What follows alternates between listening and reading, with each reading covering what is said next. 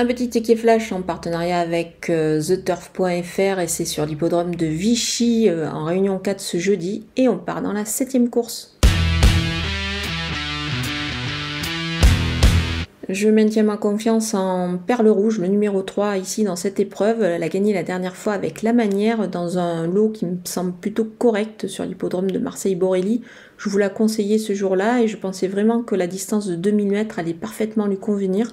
Ça a été le cas. Là, euh, une nouvelle fois, elle va évoluer sur cette distance-là, euh, sur l'hippodrome de Vichy. Je pense qu'elle est capable de, bah, de répéter. Alors certes, le lot est quand même un petit peu plus relevé cette fois. C'est une, une listette de, de, qualité, mais elle est capable de franchir un nouveau palier. On va l'appuyer au jeu simple gagnant placé et pourquoi pas la tenter en The Show, c'est-à-dire c'est un jeu qui consiste à trouver le deuxième sur le site theturf.fr.